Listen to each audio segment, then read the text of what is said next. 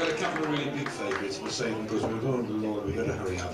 But we will save a couple of big favourites a little bit later in the show. Let's pay tribute to the world's greatest variety theatre, the London Palladium. We've done this each year at the musical by selecting two or three stars. We'll just pick a couple of them tonight to pay tribute to this great to theatre. Built in 1910, the site was originally the home of the Duke of Argyll in Argyll Street, London. But since it opened, it's certainly been the world's best music hall, and we'd like to remember it now. The girls have a little number that sets the scene. It's called, rather appropriately, the London Palladium. Thank you, guys.